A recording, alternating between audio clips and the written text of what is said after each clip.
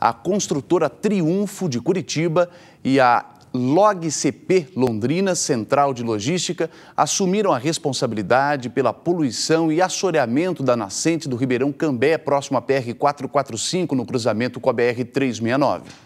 A construtora Triunfo executa parte das obras de duplicação da 445 e a Log CP está construindo um condomínio logístico no trecho. Na última terça-feira, nossa equipe foi ao local e constatou que areia, cimento e outros detritos das obras são levados pela chuva e despejados neste poço. O problema é que a água corre para a nascente do Ribeirão Cambé, onde nasce o Lago Igapó. A espuma branca indica a presença de produtos químicos também. Para minimizar o problema, uma das empresas está construindo uma soleira de dispersão para segurar a lama.